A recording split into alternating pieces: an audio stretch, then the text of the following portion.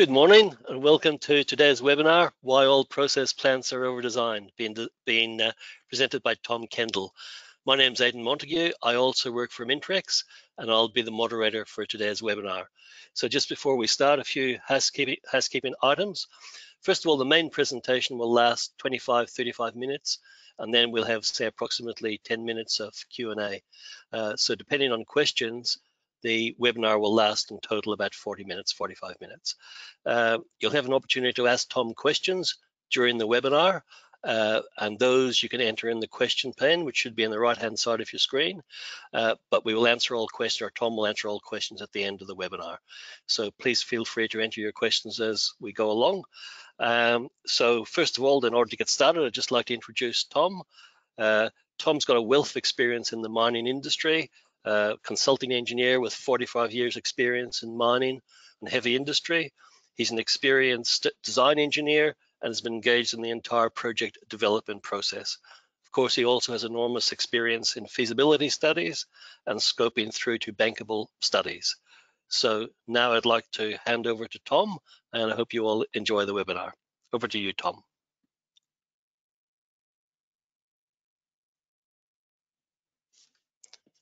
Okay, Tom, I can see your screen. And thanks for thanks for that introduction. Welcome listeners to this uh, first Mintrex webinar, which will address the issue why all uh, why all processing plants are over designed.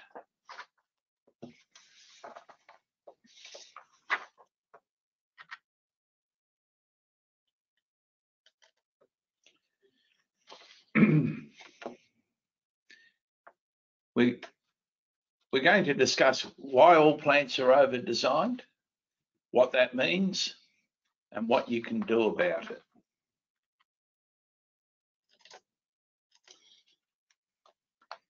We've titled this presentation with an epithet that's often directed at design engineers.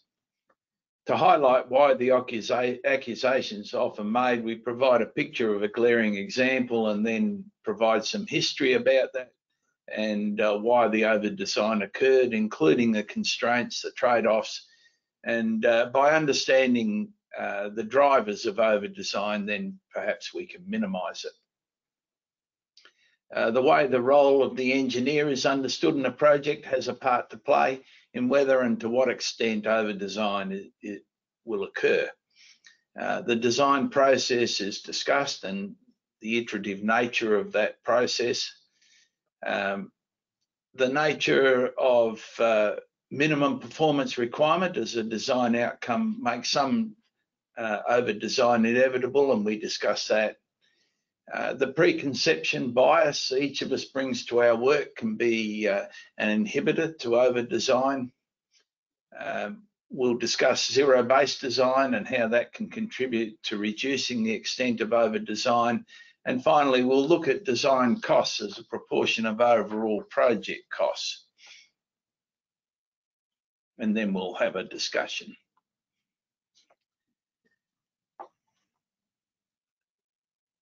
When you look into the middle of this photo, you can see trestle legs. All you can see is trestle legs. Following a very preliminary uh, concept discussions and a scoping level estimate, this project was completed and commissioned within 13 weeks of it being approved.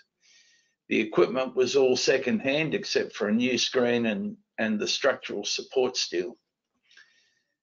The trestle legs are made from heavy tubing and the design was rationalised to four sizes of tubes uh, in order to um, speed steel procurement and fabrication. In the uh, in the middle of the picture, the two conveyors feeding the screen and, and returning from the screen uh, had small trusses six meters long. Um, they were second hand and uh, there was no design data available.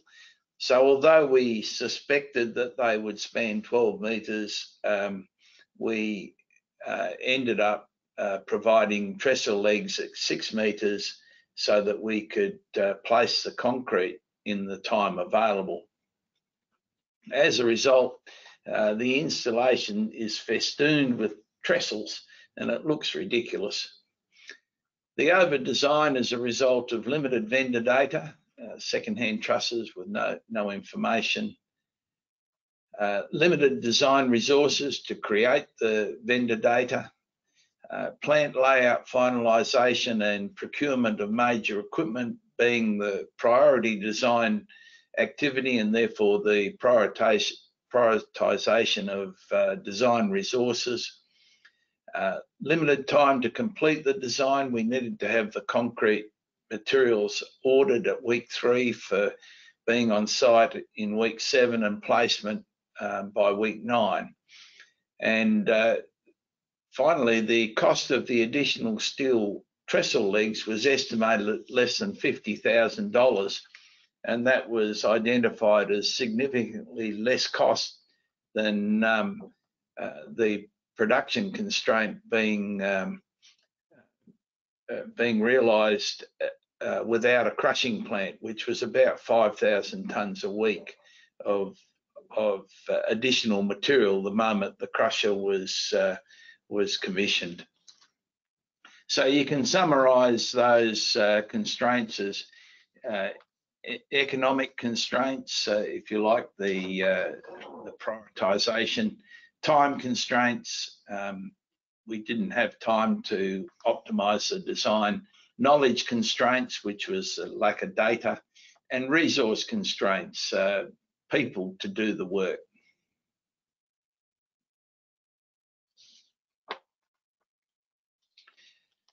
Uh, there's not much argument that the role of the engineer is to provide the end user with a safe and reliable product. Uh, that's pretty much a given, and to provide less is not acceptable. The differentiator is to save money for the client. An engineer should do for a dollar what a boilermaker does for 10. And if it's the other way around, then uh, the boilermaker is providing a better solution. Engineering is iterative each choice uh, you make along the design process adds constraints and possibilities. And uh, many times you have to circle back as a result of either the constraints or the possibilities. Uh, engineering costs money and uh, to continue engineering when the uh, potential savings uh, are be becoming very low uh, is uh, is not an economic exercise. Unless you're working for government or supplying retail customers, your client's in business and you want them to stay in business. If they stay in business, they can give you more work and they can pay you for this job and the next job. A business person expects each employee to provide them with a return. As a young engineer, when I started working for Western Mining, I was told that if I didn't save the company three times my annual salary, I wasn't worth employing. Uh, that was good advice then, and it remains good advice today.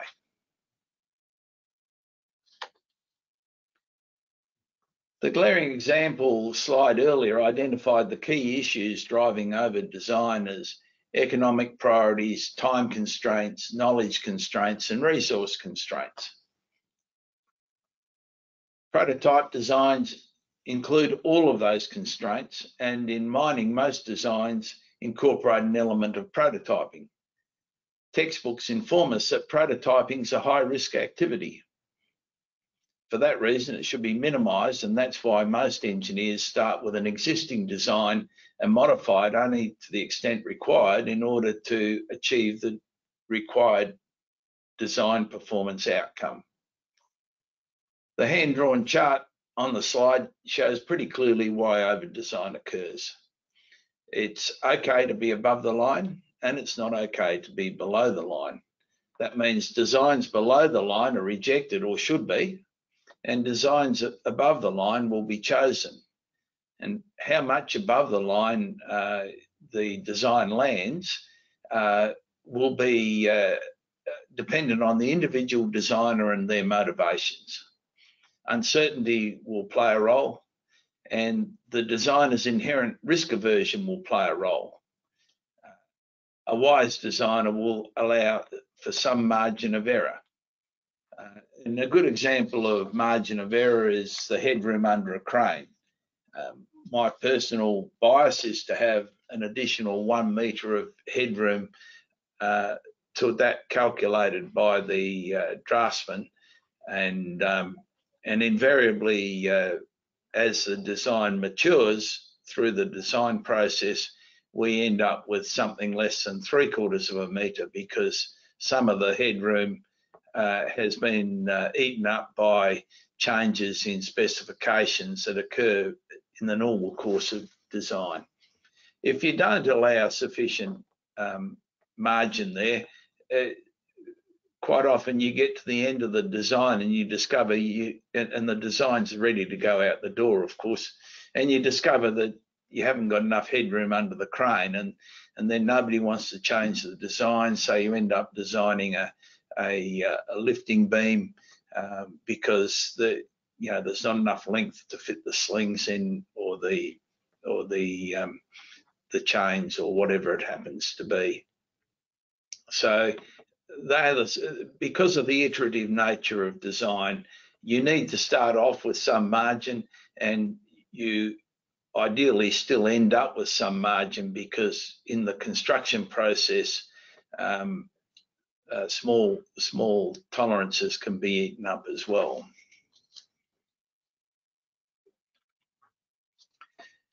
This famous quote uh, speaks to the issue of uncertainty. It applies to structural engineering, but there are, the, you know, there are equivalent uh, uh, issues in all forms of engineering.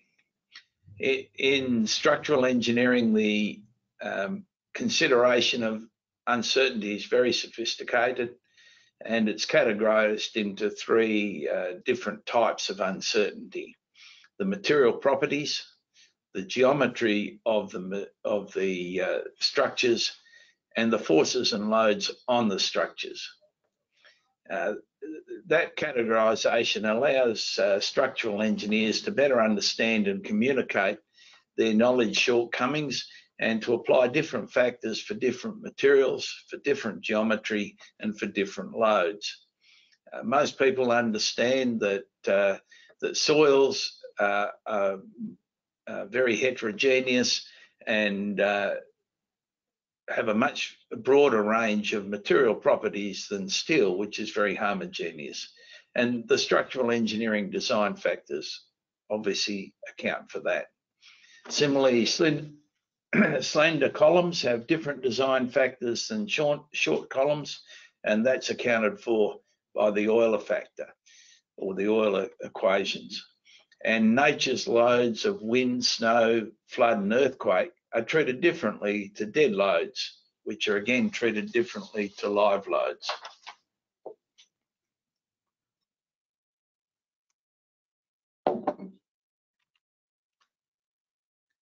David Cornwell wrote under the pen name of John le Carré, and he was famous for his detailed research to achieve realistic backstories for his books. He did field research interviewing people to understand how they interacted with one another and what motivated them. And he understood that can't be done sitting at a desk on the other side of the world where you cannot see, let alone hear or feel the emotions and the tools of the trade it's worth remembering that engineering is an applied science. If you can't use it, touch it, or feel it, then it's science, not engineering. In engineering, it's a really good idea to talk to the people at the coalface where you can achieve a better understanding of what they're telling you. Certainly better than you'll achieve over a telephone.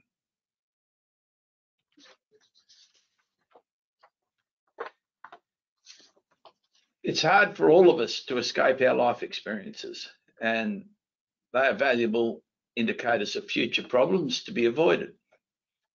But there's a difference between life experiences in the real world and life experiences on paper or in books. Experience on paper is often informed by hearsay, and there's a reason that courts don't admit hearsay.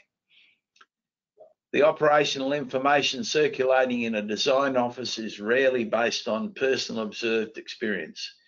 It is usually communicated from an end user to the design team, and by the time it reaches the design engineer or the design drafter, it may have been through several retellings. Hearsay information may have limited application from one job to the next job, yet because our personal belief systems are informed by a combination of hearsay and personal experience, over time we're often unable to differentiate uh, between what we did ourselves or saw ourselves and what someone else told us. And it becomes necessary to question our personal design assumptions in the real world and to recalibrate those assumptions. The most extreme example I've witnessed over the years was a conflict between two structural engineers. One designed all the pedestals in his half of the plant, the crushing plant, as round pedestals, while the other engineer designed conventional square pedestals. At the, as part of the design process, I got each engineer to check the work of the other engineer and check their calculations. Um, quite a, a, vigorous argument ensued, and um, the engineer designing around pedestals, uh, which is an unconventional approach, uh, stated that they were much more economical and they'd proved it on the previous job he'd worked on. Uh, the the arguments went round and round, and it wasn't going anywhere. And and and eventually, um, I'd uh, been through the process of selecting the uh, the preferred concrete contractor, so we took the argument to him, and he had no hesitation in stating preference for square pedestals, and and and in particular, he didn't have any round forms. Uh, he only had square or rectangular forms the um, the previous job referred to by the engineer who designed the round uh, the round pedestals had had thousands of pedestals. It was a very very big job, and they had uh, uh, rationalised the design to a limited number of round pedestals, and it was economic for the contractor to um, um, manufacture those round those round forms um, and reuse them through that job. But that was uh, unusual, and the engineer had, had, failed to recognise that it was unusual, and he um, and he was um, uh, well, he was totally convinced, in fact, that you know there was uh, no better way of doing it than around pedestals and he wouldn't listen to any alternative view. Um, how did we how did we resolve the issue? Well, um, it, it, was quite interesting because being the crushing plant, we actually did away with the pedestals altogether, and um, and and probably highlights the fact that not only did the personal views um, uh, blind blind that particular engineer to the fact that uh, his unconventional approach was an optimum, but it, uh, it, it really led to him overlooking the, the question of do I need pedestals at all?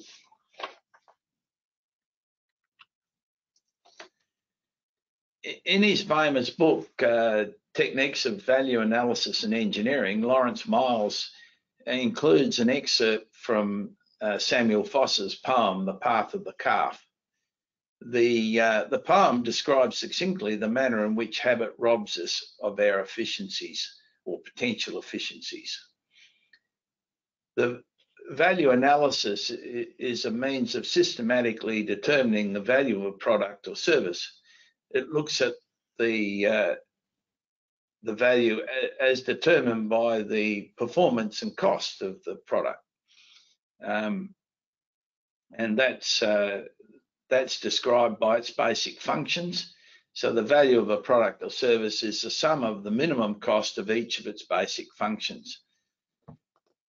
Uh, the value analysis uh, then proceeds through a problem solving system involving uh, four distinctly different types of thinking information and uh, assumption searching, analysis, uh, creative thinking, and judgment thinking.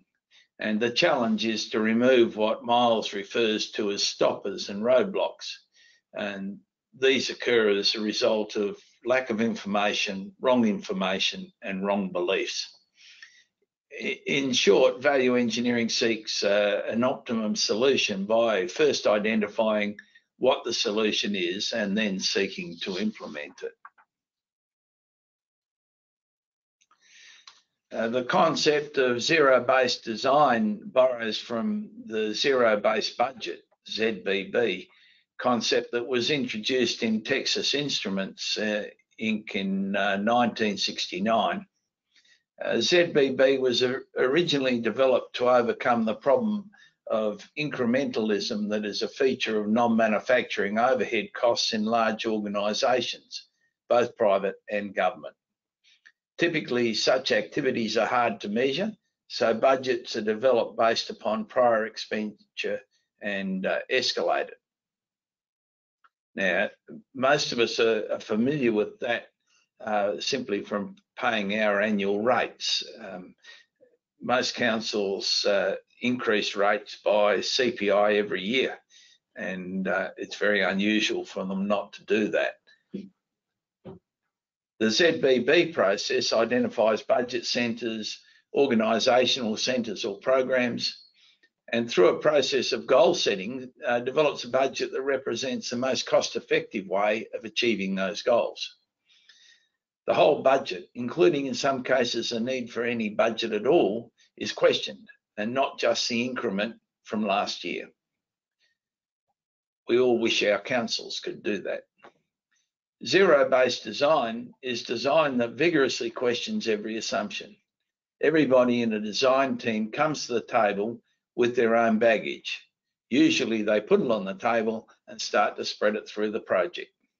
That means the project ends up with outcomes that weren't ever envisaged. The core philosophy for zero-based design is that every design element must be justified by a tangible or an intangible outcome that's required in the in the design scope. Design assumptions need to be related back to the design outcomes and the outcomes need to be evaluated from a cost and risk, risk management perspective. An example of answering a question that nobody ever bothered, you know, needed an answer to is, is how do you design a Bowie knife that is safe for handling by a three-year-old? There's lots of potential solutions, such as a Bowie knife and a child-proof scabbard. But the most sensible solution and the most cost effective remains keeping the three-year-olds away from Bowie knives. Too often, solution to a problem is sought without questioning the need for a solution at all. Zero-based design seeks to ensure that the design is only addressed to the client requirements. Zero-based design is a simple process that may be applied by people with no value engineering experience whatsoever. Any engineer or drafter can ask the question, is the outcome of this design effort essential to the project requirements? They may not know the answer, but someone should. And if the answer is in the form of a motherhood statement rather than a specific need to be met, then the question probably should be asked again. More usually, of course, engineers and drafters are imposing their own requirements upon the project, and the challenge is to get them to recognise that their preconceived ideas are not necessarily appropriate to the particular project at hand. That is, to recognise the calf paths in their own minds. In summary, zero-based design is, a, is seeking to achieve a value engineering outcome by applying zero-based concepts from the outset of the project rather than allowing a project to accumulate design outcomes, then subjecting the design outcomes to a value engineering step to refine the design.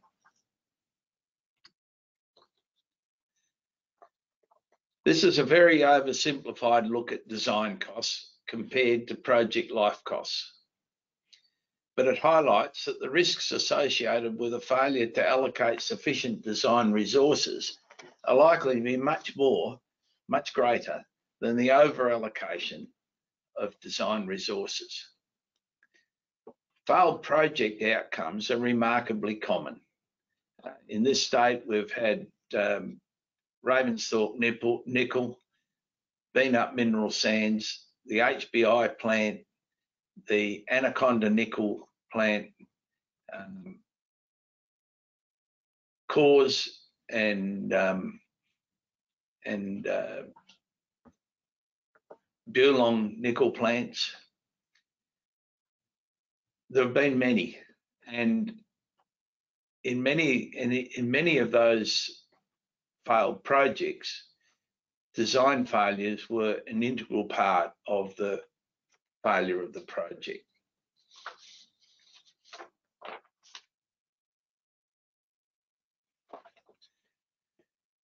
This morning we've discussed over design and what that means and what you can do about it. We've established in this brief presentation that some under, over design is inevitable and that's why all, all plants are over designed. We've established that over design is relative, that it costs time and money to optimize design to achieve a most economical project outcome. Sometimes more over design will be most economical. As you reduce time, resources, knowledge, and questioning, you will increase over design. If you copy without careful reference back to the design needs, you are likely to increase over design. To reduce over design, you should recognize that design is on the critical path of all projects and make appro appropriate allowance of time to prepare the design.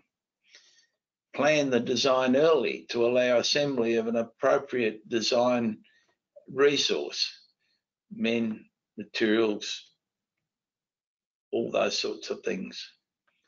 And then apply zero-based design principles and question design assumptions to achieve the required design outcomes only.